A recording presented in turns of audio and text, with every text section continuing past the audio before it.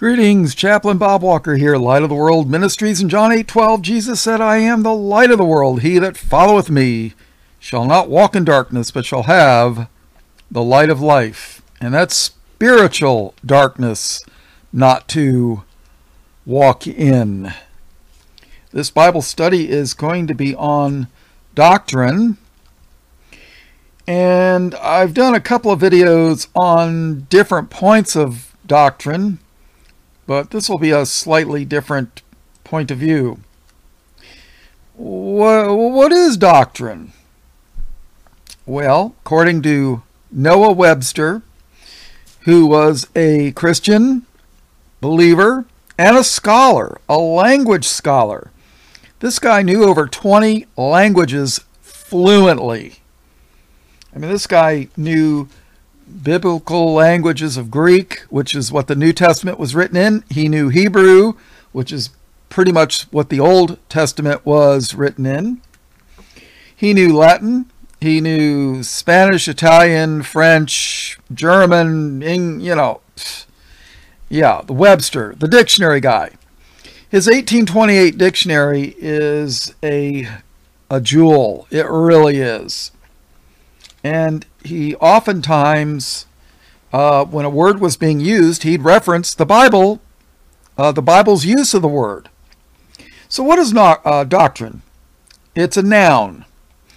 It's a Latin word and means to teach. Number one, in a general sense, whatever is taught. Hence, a principle or position in any science, uh, whatever is laid down as true by an instructor or master, the doctrines of the gospel are the principles or truth taught by Christ and his apostles. You tell me that guy's not a Christian, huh? The doctrines of Plato are the do- uh, principles which he taught. Hence, a doctrine may be true or false, it may be a mere tenet or opinion. So, yeah. Number two, the act of teaching. He, Jesus, he taught them many things by parables and said to them in his doctrine. And that's in the book of Mark, chapter 4, 2. I mean, he actually quotes Mark 4, chapter, uh, Mark chapter 4, verse 2. Three, learning knowledge. Whom shall he make to understand doctrine? That's in Isaiah 28 9. He quotes doc, uh, the Bible twice. And here we're getting to number three the truth of the gospel in general. That they may adorn the doctrine of God our Savior in all things. Titus 2 in verse 1. Number five, instruction and confirmation in the truths of the gospel. 2 Timothy 3 10. 2 Timothy 3:10. I mean, this guy, you know, compare this to the uh, so-called Webster Bibles today. You know, uh, printed by Antichrist companies. So, doctrine.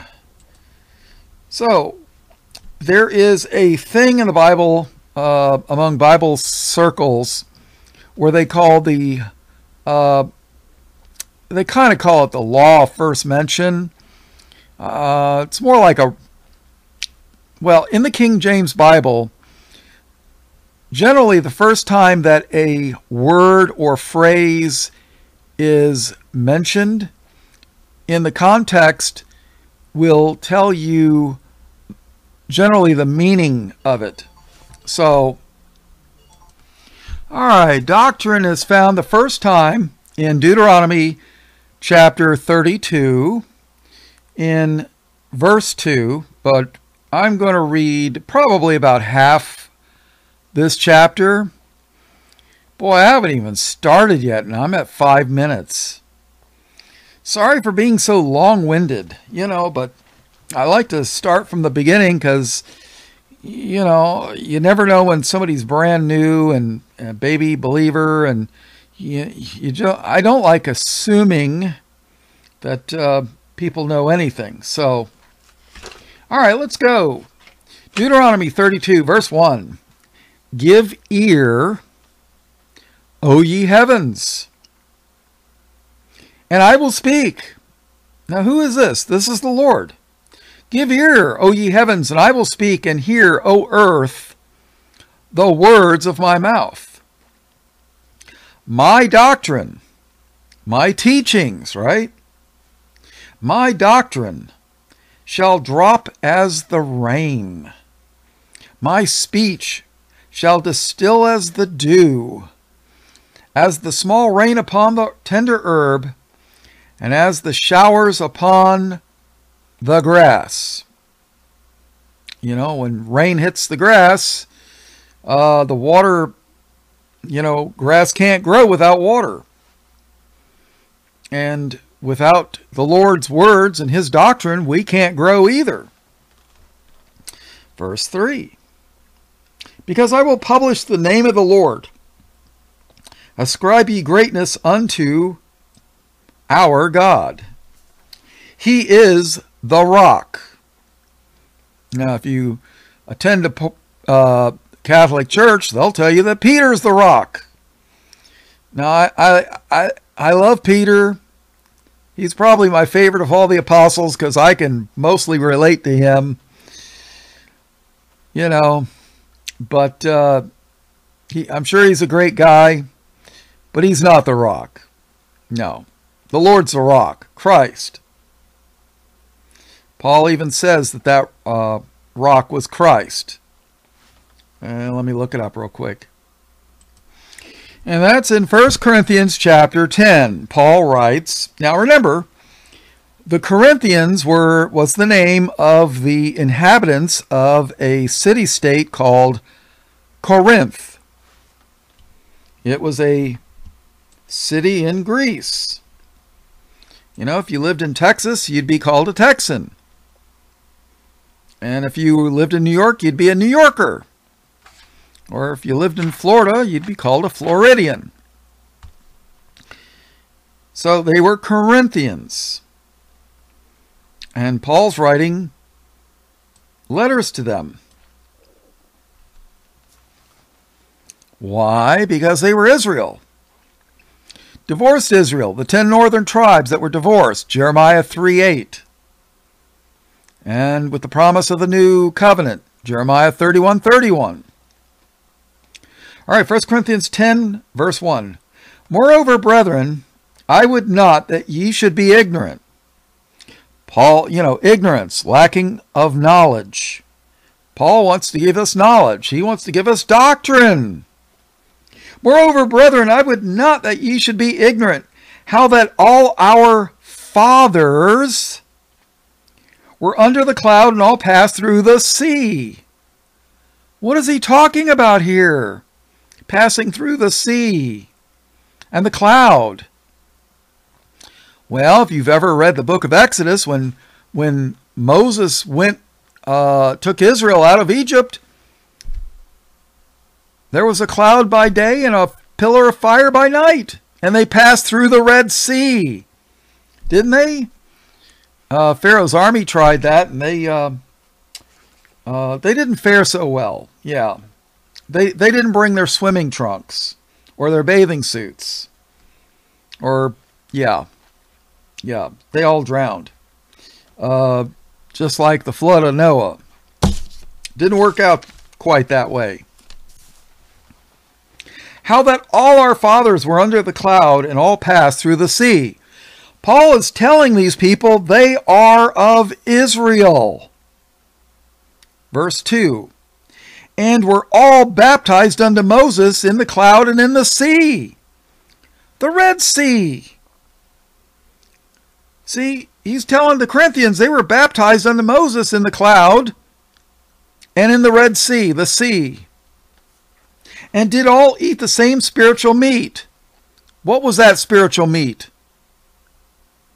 The instructions they got from Moses, you know, like the Ten Commandments, when he came down from the mount the, on the tablets of stone. But what was the uh, other, you know, uh, the manna? Could the manna be called spiritual meat? Probably not, but, you know. So let's uh, let's start over again. Moreover, brethren, I would not that ye should be ignorant how that all our fathers were under the cloud and all passed through the sea, and were all baptized unto Moses in the cloud and in the sea, and did all eat the same spiritual meat, and did all drink that same spiritual drink, for they drank of that spiritual rock that followed them, and that rock was Christ. Well, guess what? They were out in the middle of the desert. They were carrying this rock around. God said to strike the rock, and guess what? Water came out of it. Yeah. And there was probably hundreds of thousands of people. Uh, you know, this rock wasn't going drip, drip, drip. No, it, it was probably a geyser or something or other. I don't know. I wasn't there. I'm old, but I'm not that old. Yeah. Uh, yeah. Can you imagine? How much water would you need for a thousand people? 10,000. Out in the middle of the desert? Woo, doggy. Let me tell you. So there was a rock, and Christ is called the rock, and that rock was Christ. But with many of them, God was not well pleased, for they were overthrown in the wilderness. See, all the people that uh, did all the stuff that displeased God, they died. That's why they wandered in the wilderness for 70 years. Verse 6 Now these things were for uh, were our examples. Yeah, if you read the book of Exodus, God wasn't pleased with these people. Why? Because, you know, they were murmuring and complaining. Yeah, I'm so tired of eating this manna every day. It's manna for breakfast, manna for lunch, manna for dinner, manna for a midnight snack, manna, manna, manna, manna, manna. I'm sick of manna. I want meat. And God sent them quail. God even said, You're going to be eating quail until it comes out of your nose. Yeah, did you know that was an expression out, you know, uh, uh, from the Bible? You're going to do that until it comes out your nose. And the nose knows. Oh, yeah. Uh, now, these things were our examples to the intent uh, we should not lust after evil things, as they also lusted. Neither be neither be ye idolaters, as were some of them, as it is written, the people sat down to eat and drink, and rose up to play. Neither let us commit fornication, as some of them committed, and fell in one day three and twenty thousand. Neither let us tempt Christ, as some of them also tempted, and were destroyed of serpents. Yeah, the flaming, fiery, flying serpents. Neither murmur ye, as some of them also murmured, and were destroyed of the destroyer. Now all these things happened unto them for ensamples, and they are written for our admonition. You know what admonition means? Uh, when you admonish somebody, you're giving them a, a like a reprimand. Upon whom the ends of the world are come. Uh, wherefore let him that thinketh he standeth take heed lest he fall. And if you want, you can read the rest, but yeah, I think you get the idea. All right, let's go to uh, back to Deuteronomy 32. Give ear, O ye heavens, and I will speak, and hear, O earth, the words of my mouth. My doctrine shall drop as the rain, my speech shall distill as the dew, as the small rain upon the tender herb, and as the showers upon the grass, because I will publish, publish the name of the Lord Ascribe ye greatness unto our God. He is the rock. His work is perfect, for all his ways are judgment. A God of truth and without iniquity, just and right is he.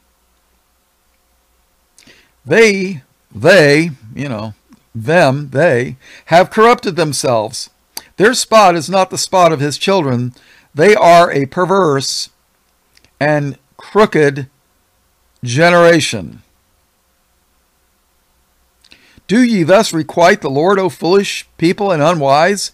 Is not he thy father that hath bought thee? Hath he not made thee and established thee?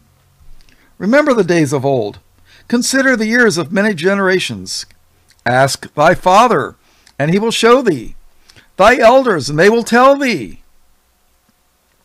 When the Most High divided to the nations, and that word nations there is the same exact word that sometimes they translate as Gentiles. Sometimes they translated it as nations, sometimes as Gentiles. But it's the same word. When the Most High divided to the nations their inheritance, when he separated the sons of Adam, he set the bounds of the people according to the number of the children of Israel. He separated the sons of Adam. Separated. The world wants open borders and mix everybody up. For the children of Adam, anyways. And by the way, if you don't know it, uh, in the old in the old Hebrew dictionaries, Adam was a racial description that only applies to one group of pe- one group of people. You know, the the group of people that have carried the Bible. You know, uh, were the Mongolians and the Chinese and the Japanese and uh, India and Africa. Were, were, they the ones that carried the Bible? Uh, I don't think so. Who uh, who printed the Bible? Well, Martin Luther, Gutenberg's press, Germany, uh, England, King James, uh, you know, the Geneva in Switzerland. Um, I forget his name. Um, John Calvin, I had to think about that. I must be getting Alzheimer's. So, when the Most High divided to the nations their inheritance, when he separated the sons of Adam, not mixed them all up like the world wants to do, let me tell you something, people. If you want to know what the Bible says on a subject, look at what the Lord, uh, look at what the world says about a subject, and do the opposite, or look and do the opposite. Yeah, and, and you'll know. Oh, the world says, oh, we're pro-choice, abortion's okay. Well, you know the Bible says, "Thou shalt not kill." You know, when the world says uh, open borders. You know, we're all world citizens. Uh, that's not what the Bible says. When he separated, separated the sons of Adam, he set the bounds of the people according to the number of the children of Israel. Verse 9 For the Lord's portion is his people. Jacob. Uh, who was Jacob? He was the grandson of Abraham the son of Isaac. And Jacob's name was changed to Israel. When you see Jacob, think Israel. When you see Israel, think Jacob. Same thing. For the Lord's portion is his people, Jacob is the lot of his inheritance. Jacob is the lot of his inheritance. Um, by the way, we're going to go to Proverbs chapter 4. I think Proverbs was, uh, memory serves me correctly, Proverbs was written by Solomon, the son of da King David, and was considered the wisest man that ever lived. Of course, he fell there for a while.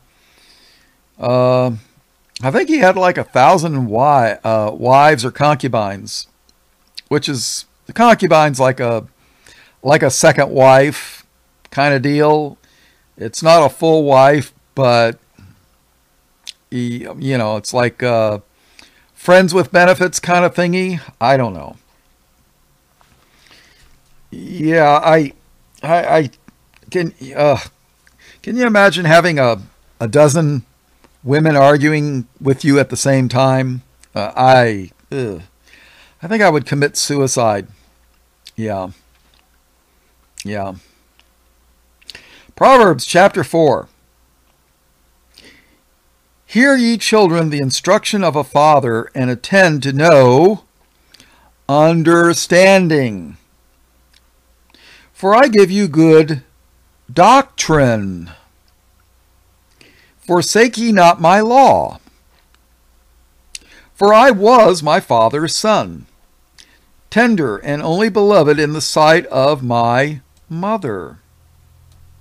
He taught me also and said unto me, Let thine heart retain my words, keep my commandments, and live. Uh, you know, there's more to living than just the physical flesh. And this is like spiritual living. You know, live forever, eternal life. Verse 5 Get wisdom. Get wisdom. Get understanding. Forget it not, neither decline from the words of my mouth. You know, don't walk away from the words of God's mouth. Get wisdom. Get understanding. Forget it not. Verse 6 Forsake her not, and she shall preserve thee. Love her, and she shall keep thee. Now, what in the world are we talking about her? Her? What is this? Wisdom is the principal thing. Therefore, get wisdom, and with all thy getting, get understanding. Exalt her, and she shall promote thee. She shall bring thee to honor when thou dost embrace her. Do you know that wisdom here is being uh, likened unto a her? Yeah. Do you know that the um, in the Greek, the word Sophia, S O P H I A, I'm not sure if I'm pronouncing it right, but that's how I in English. Maybe somebody as well versed in Greek can uh, correct me, but uh, Sophia is uh, the Greek word, from what I understand, the word for wisdom. Yeah. Get wisdom, get understanding, forget it not, neither decline from the words of my mouth, forsake her not, and she shall preserve thee. Love her, love the Lord's wisdom, and she shall keep thee. Wisdom is the principal thing, therefore get wisdom, and with all thy getting, get understanding. Exalt her, and she shall promote thee. She shall bring thee to honor when thou dost embrace her. She shall give to thine head an ornament of grace. An ornament of grace, a crown of glory shall she deliver to thee. Wow uh, grace. Yeah, we hear, you know, I've heard people say that the Old Testament's just a book of rules and regulations and judgment. There's there's grace in the Old Testament, believe it or not. And in Genesis, um, you know, Noah found grace in the eyes of the Lord. That's in Genesis chapter 6. Noah. Yeah. So, uh, where do we find grace? Jesus Christ, right? And a crown of glory. Who's going to give us a crown of glory? Jesus. Verse 10 Hear, O my son, and receive my sayings, and the years of thy life shall be many. I have taught thee in the way of wisdom, I have led thee in right paths. When thou goest, thy steps shall not be straitened, and when thou runnest, thou shalt not stumble. Take fast hold of instruction, let her not go, keep her, for she is thy life. Enter not into the path of the wicked, and go not in the way of evil men. Uh, better stay away from politicians, right? And TV evangelists. And I could, and car salesmen. Oh my, uh, yeah. Go not in the way of evil men, avoid it, pass not by it. Turn from it and pass away. For they sleep not except they have done mischief, and their sleep is taken away unless they have caused some to fall. You ever meet, meet, meet people that love to push down others, you know? 17. For they eat the bread of wickedness and drink the wine of violence. Compare that to the uh, Last Supper, the Lord's Supper, the, you know, the, the bread being the flesh of Christ and the wine being his the blood of Christ? Would you rather have that or the bread of wickedness and the wine of violence? 18. But the path of the just is as the shining light that shineth more and more unto perfect day. The way of the wicked is as darkness. The way of the wicked is as darkness. They know not at what they stumble. I don't care if it's noontime and the sun's out, they're stumbling spiritually. My son, attend to my words, incline thine ear unto my sayings. Let them not depart from thine eyes. Keep them in the midst of thine heart. For they are life unto those that find them, and health to all their flesh. You know, the Bible had uh, dietary and health laws. And you know what? Pork is so it's it's poison basically. It's so full of parasites. You know, yeah, you can cook it, but you know, it's still uh, it's not healthy. It, it, you know, is it? Oh well, you eat pork, you're damned forever for hell. No, but it's just not healthy. And you know, the Bible said that when you uh, relieve yourself, you know, num- go into the bathroom number two, uh, it said to cover, you know, you you bury it in the ground and you cover it. This way, flies don't land on it and then carry the disease back to landing on your food. You know, that was that was uh I mean, like, how long, how long ago was that? That was at least 4,500 years ago. Or at least 4,000 years ago, the Bible said that. We didn't even understand bacteria until probably about 200 years ago or less. You know, when uh, there was a guy named Van Leeuwenhoek, Leeuwenhoek, Leeuwenhoek. Some guy, he was Dutch. Uh, he invented the microscope. They don't even to this day know how he how he uh, did the glass to, to do a microscope. But you could see the one-celled organisms, you know, like diatoms and what have you. They don't even know if he he might have uh, taken the glass and and you know you ever seen glass blowers make bottles? He might have blown it into a mold and then let it uh, cool and then use that the glass to reflect or, re, or refract the light, you know, so that it would, um, so he could see small objects. But we didn't even know about microscopic uh, bacteria and stuff until those kind of things came out. But the Bible did. The Bible knew. Cover your thing. You ever heard the expression, he doesn't have a pot to piss in? Where does that come from? Well, that comes from Old England. Uh, they used to have a a uh, pot, and when you'd have to go to the bathroom in the middle of the night, you'd that's what you used. either number one or number two. Well, guess what? In the morning, what did they do with it? Some people just open up the window and throw it out the window. And then you're walking on the streets with all this filth. And then you track it everywhere. And then people wondered why there were out, outbreaks of plagues. Well, because people didn't follow what the Bible said to do. You take it and you bury it. You cover it up with dirt. Better the earthworms to have it than the uh, flies. And people say, "Oh, the Bible's just a religious book." It's it's a book on health too.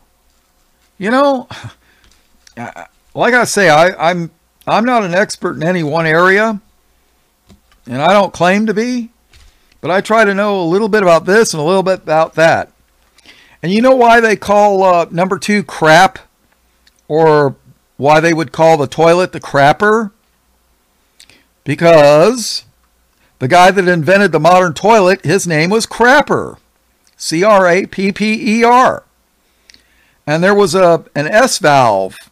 Uh, I'm sorry, uh, the pipe where the number two would go down. It had an S, and the water would go in there and would prevent the sewer gas that would form uh, bacteria eating the the crap uh, would produce sewer gas, methane. That stuff will kill you, and it's flammable. Yeah, there were people that would go into a house and smell, you know, smell gas, and they would light a cigarette and blow up. Well, I think his name was Thomas Crapper. I'm not sure, but his name, last name was Crapper, and he invented the S valve that there was always water in it, and it would prevent the sewer gas from um, coming up through the the the toilets and what have you. That's why that's open up open up your uh, kitchen or bathroom sinks and look under it, and you'll see uh, the the pipe will have an S valve. That's why. You know, he invented the modern sewer type things. England. Uh, you know, sorry, we didn't go to Africa and then steal the idea. And then, yeah, it, it no. So, all right, yeah, I've wasted some time. Proverbs 4, uh, 22. For they are life unto those that find them, and health to all their flesh. See, the words of the Lord are health to all their flesh. Keep thy heart with all diligence, for out of it are the issues of life. Put away from thee a froward mouth and perverse lips. Put far from thee. You know, froward mouth, evil, and perverse lips. Let thine eyes look right on, and let thine eyelids look straight before thee. Ponder the path of thy feet, and let all the ways, and let all thy ways be established. Turn not to the right hand nor to the left. Remove thy foot from evil. In other words, follow the straight and narrow path. Don't turn to the left. Don't turn to the right. Go straight ahead. And make sure you keep your eyes on Jesus. So, uh, wow, I, I 30 minutes and I've only done two two things of doctrine. I'm going to break this up into smaller um, studies, I think, because this is going to be multi parts for sure. Um, doctrine appears how many times? Oh, doc, the word doctrine appears 50 times in the uh, in the Bible. Yeah, so I'm going to be doing this for a little while, huh? All right, all blessings, praise, glory, and honor in Jesus' precious name. Amen.